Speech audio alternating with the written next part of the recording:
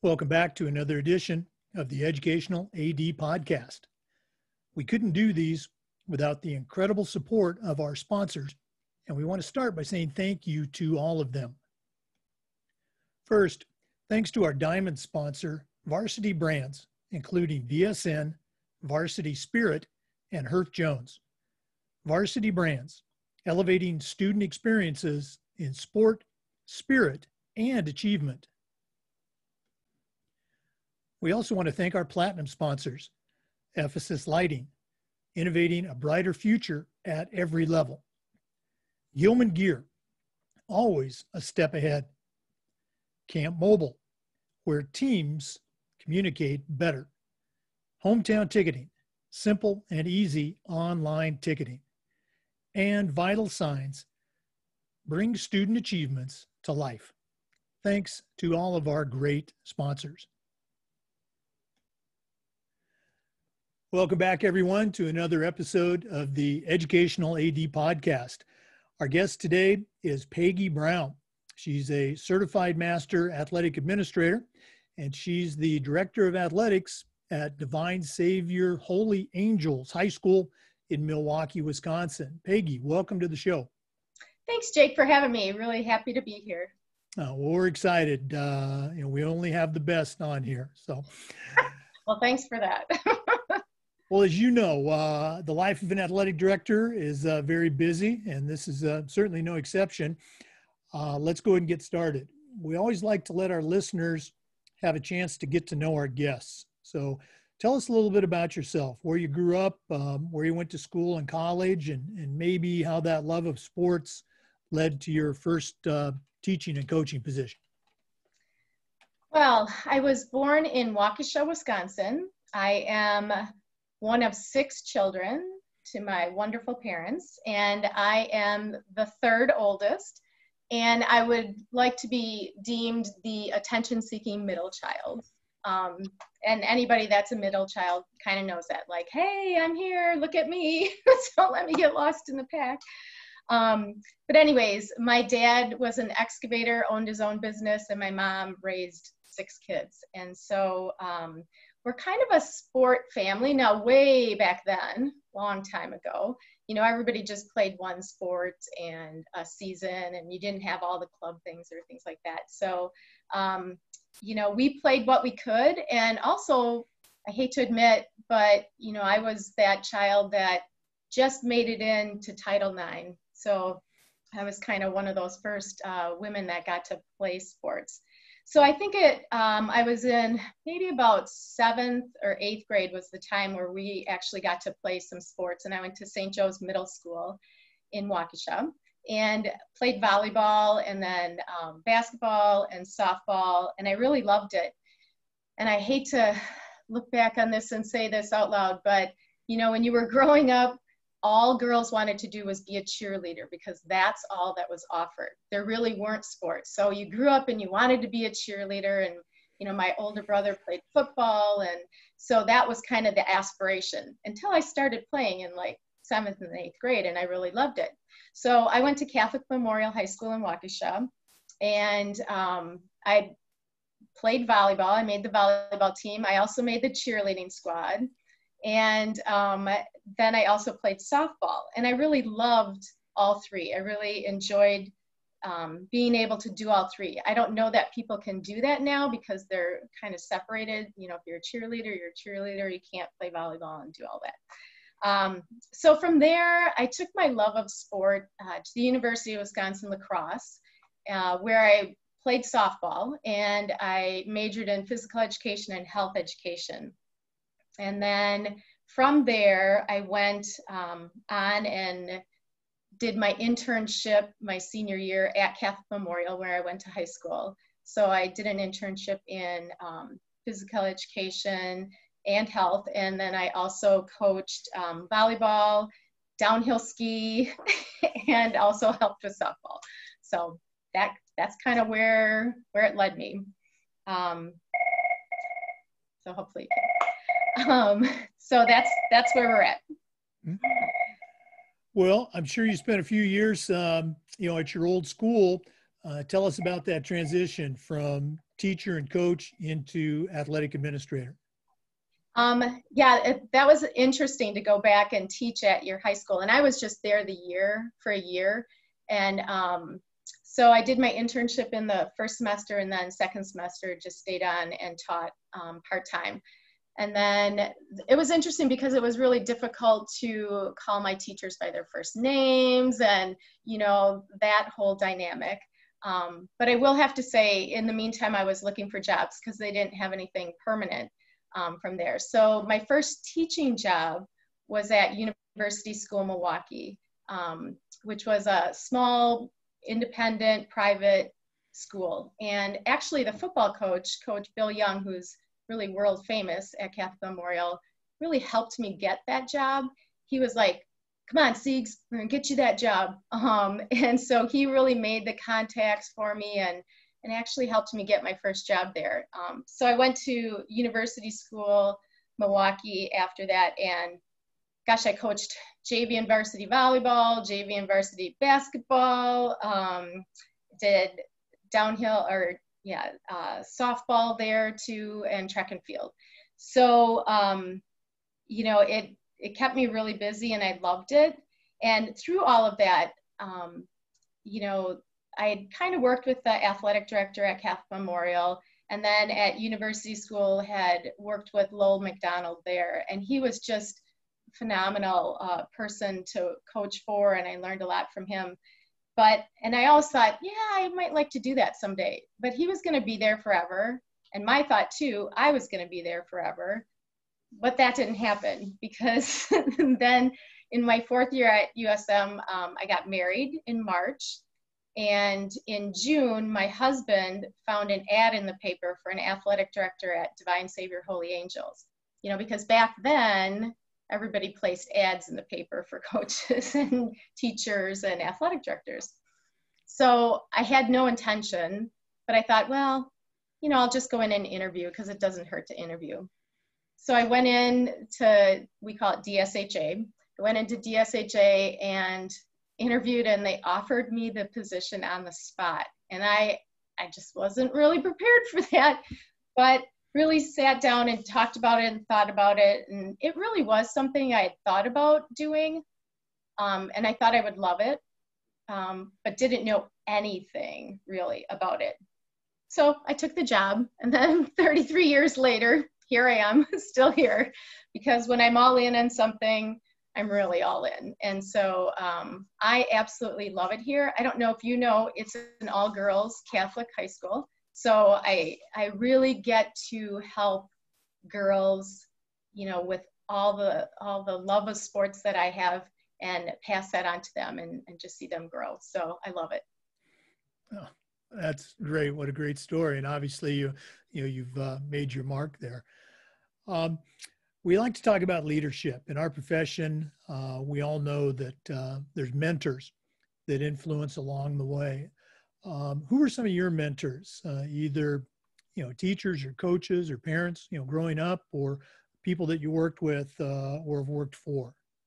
Um, I would say mentors along the way. I think that started in high school um, with my athletic director at Catholic Memorial, Greg Gamowski he was there and i used to help like type contracts back when we used typewriters and do some of the little things for him and just kind of got to see what he did. And i thought it was really interesting. So i would say he was a mentor for me.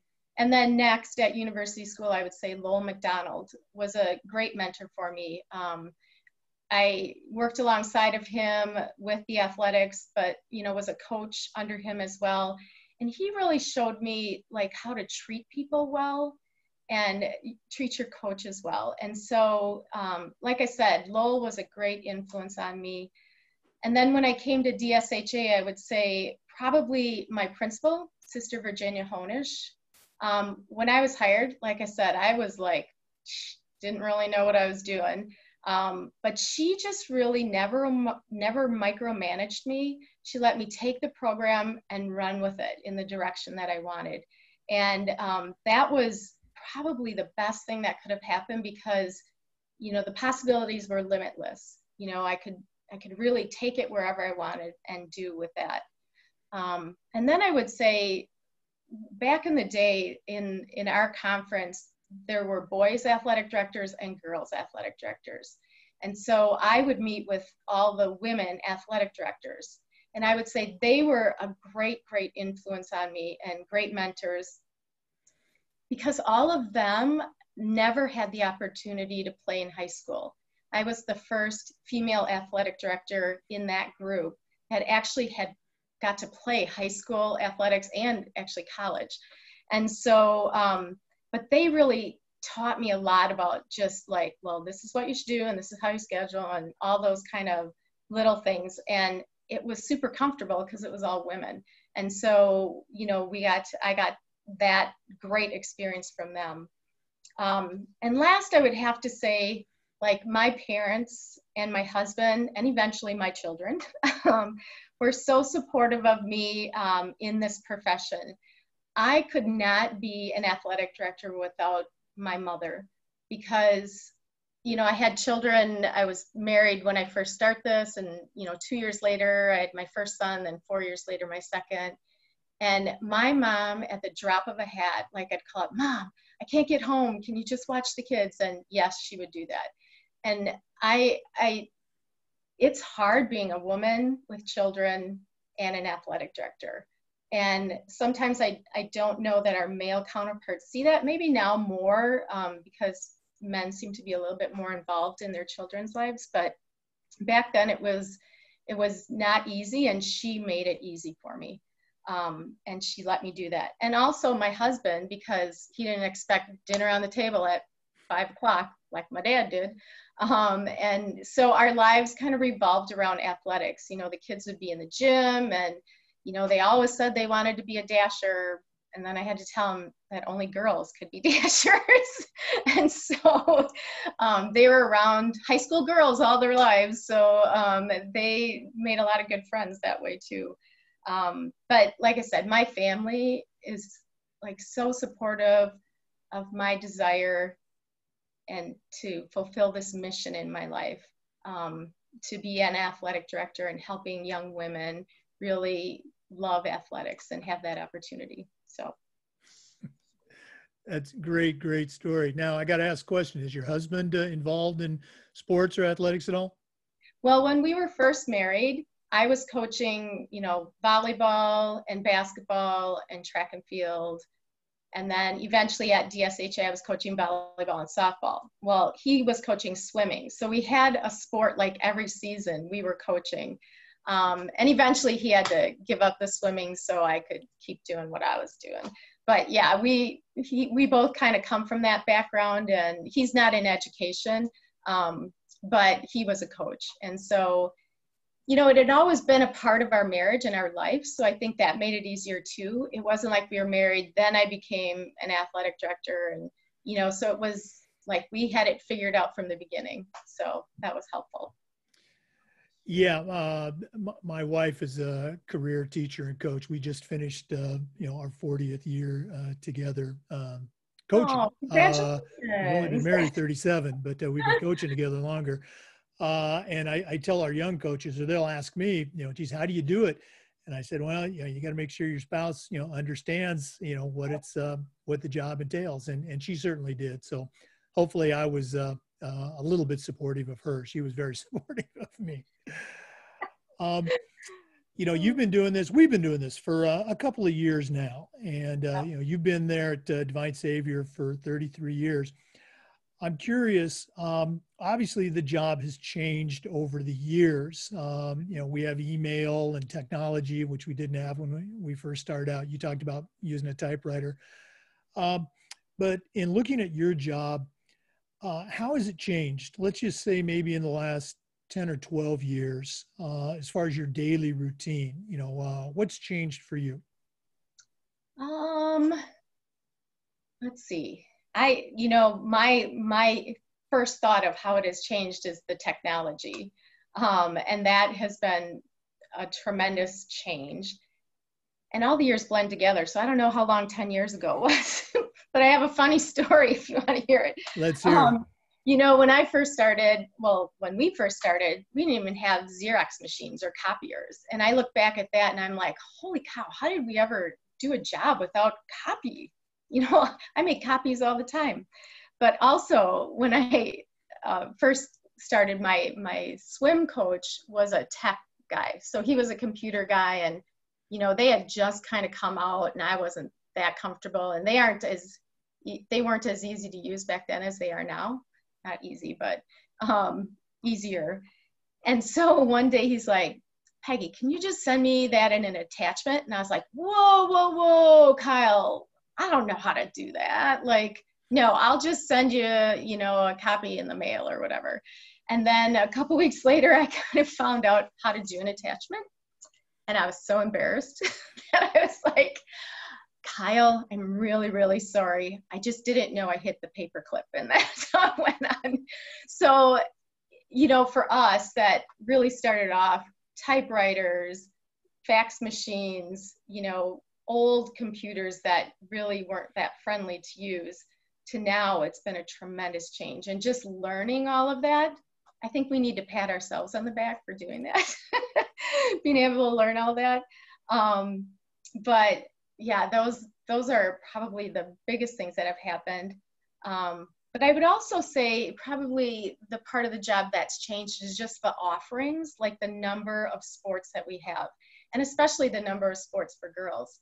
When I first started, I think we had seven or eight different sports, and now I have 16 different sports with multiple levels at each.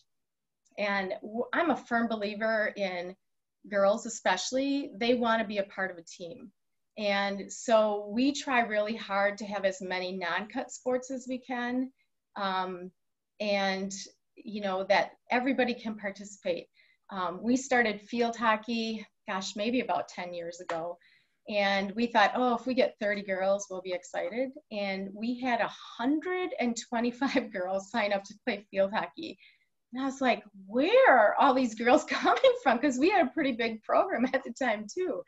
Um, so now we have five teams of field hockey because we made it a non-cut sport and we wanted something in the fall that they could come and be a part of.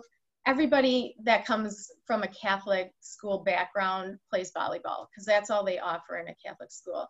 And so that's what everybody wants to play when they come here. So we'll have, you know, 50 girls that want to try out for volleyball. And so we have to cut, which I hate doing and this is a great alternative for them because nobody has really played field hockey before they come here and so everybody's in the same boat and it's really a good experience and so that's that's probably one of the biggest things that has changed with the job is just the number of sports besides the amount of paperwork and the number of coaches and you know all those things that we have along the way as well yeah no i i, I would agree uh, you and I are both at uh, you know private schools, uh, and, and, so again, our envir- environment's a little bit different. But what, uh, if any, changes have you seen in the last you know 10, 15, 20 years with regards to um, the parents of the student athlete? You know, that's an interesting question, and I must be really blessed because although parents are probably more involved, certainly more involved than my parents were at the time. I find them to be really supportive here. And I don't know if that comes from the stability in the athletic director position that I've been here for so long. And we really have like protocols and things that need to be respected in terms of how you talk to coaches or um, administrators and things like that. Like, don't jump over my head, talk to me first. And then, you know, if we need to, we'll go to the principal or the president. Um, so I I would say parents are more involved, and rightly so because they you know they have a vested interest in their daughters. Um, but I I would also say they're at least here at DSHA I find them to be really supportive and want to help. Um, and we have don't don't think that we don't have our share of you know maybe parents that you want to wrangle in a little bit but for the most part i think we're really blessed here to have great parents so uh, that's great to hear. And uh, I would echo that at our school too. I, I think it goes to uh, communicating your mission very strongly. You know, this is what we do. You know, making sure the coaches, you know, follow that uh, so the coach isn't hanging you out to dry, and right. Uh, just uh, again communicating, listening to a concern, but uh, you know, hey, this is how we do things. So that's good to hear. I'm glad it's going well. Yeah. Um, let's go and talk a little bit about COVID. Uh, certainly, it's impacted uh, athletics across the country, and we've seen a variety of responses. Uh, some states are uh, changing seasons, some are moving ahead business as usual. Uh, there just doesn't seem to be a single best practice. So, um, and disclosure, you know, we're recording this, you know, at the end of August. So by the time this airs, things may have changed. But what's happening right now uh, at your school uh, in Milwaukee, in Wisconsin? You know, what's going on with COVID? Yeah, we have a mix of everything in Wisconsin. Um, it depends where you are and what you're doing. Our state is, our organization has left it up to each school. They have offered fall options or they've made kind of this in between season between winter and spring. They've made another season if you choose to take your fall sports and move them to the spring. Um, so it's it's a little confusing. Some people have done all their sports to the spring. Some people have done just let's say their contact sports like football or boys soccer, and there are a whole whole bunch of schools trying to do everything in the fall. Um, so far, we're committed to trying to do the fall. Um, we are trying to be as safe as we can. Um, as I said, I've written more guidelines than I've ever have in my life, and they constantly change and are updated. Um, but my coaches and student athletes and parents have been really great. Um, so far, we've started what the WIAA has termed low risk sports. So we started cross country, golf, swim and dive, and tennis last week. So we're on our second week, and we've also already been competing in tennis and golf. And it has been so exciting um, to watch the girls compete because we lost our spring last year. We actually lost the end of our winter season. Um, we had made it to the state championship, had the team up there to play their first game on a Friday, and we're told Thursday night that the tournament was canceled.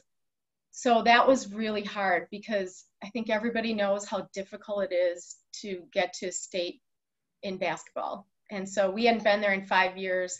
And we were so excited, had a just an awesome group of seniors that we really felt we had a great chance. They were peaking at the right time, playing great. And they were up there in the hotel rooms ready to play the next day. And i woke up at five in the morning and um, heard on the news that everything was canceled. So it was devastating.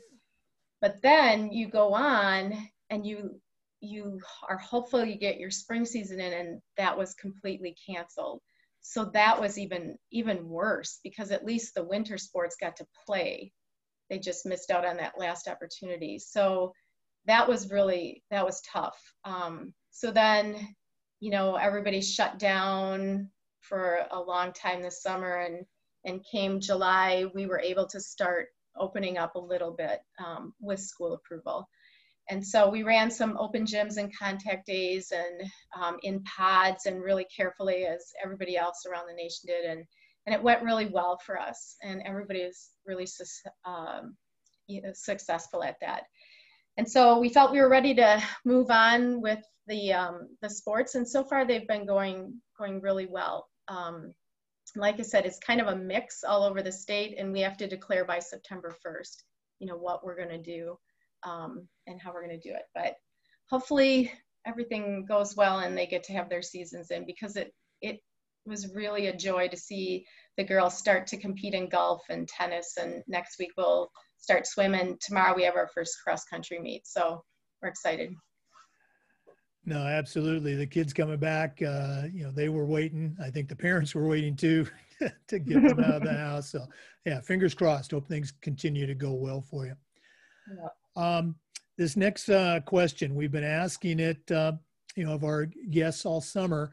Um, and uh, obviously things have changed just a little bit in the last uh, um, you know few days. Um, last spring, uh, particularly in Minneapolis, Atlanta, um, we saw just a, a huge uh, increase in uh, you know the awareness of you know, social issues, social justice, um, and now we've, you know, had the recent events. Uh, my question is this: What are some things that we can do as athletic directors? Um, what are some things that we can do better uh, with our students, with our teams, with our communities in this um, area of social awareness? Yeah, I would say, you know, the most important current issue right now we face is that racial injustice and, and diversity. Um, and I truly believe that we have to open the lines of communication and listen to people. I mean, really listen and listen with empathy. Um, I can't understand what it's like to have been raised Black in America, but I want to listen and I want to understand and I want to try to be better. So I think um, that we we all need to listen to each other, and I think that's where it starts. Um, we also need to normalize changing our mind. Um, we may have thought one way for a very long time because we didn't know any better, but now we need to open our minds and be open to change and to know that it's okay to learn and to grow but that all starts where i think you know is listening with empathy and trying to understand and help me understand you know like I, I can't i can't understand because i didn't grow up that way but please help me to understand and, and help me to become better and i think if we all start listening to each other and try to understand with empathy that the world would probably be a better place and we can start with our own athletes and go from there. Mm-hmm. Well, I appreciate you sharing. Uh, let's lighten it up here a little bit. Uh, I think I probably know the answer, but uh, what are some of your favorite things about being the athletic director at your school? What gets you excited about coming to work each day? Well, I am so blessed to be in a profession that I absolutely love. I love being an athletic director. And the thing I probably love most about it is that it is different every day. Like I come in with a to-do list. I'm a, you know, post-it kind of girl and I put my things down and I love crossing off things. But I'll come in some days and I'll look at the end of the day and be like, whew, I didn't even get to any of those things. So I love that it's different every day. And for me personally, being at an all girls school, I love watching the girls come in as freshmen not really knowing who they are, you know, not that confident.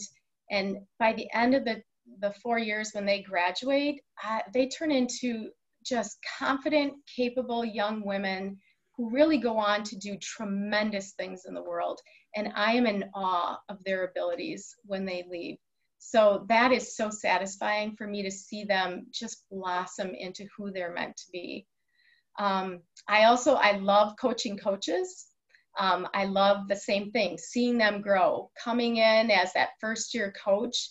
And then I have some coaches now that have been here, you know, 10, 15, 20 years. And to see the growth in them and how they really get, you know, how important and how influential they are. Um, so I love that. And I, I just really love the relationships I formed with student athletes, with my coaches, with my colleagues, officials, game workers. The relationship, you know, piece of this is what makes it so great is you get to meet such great, great people.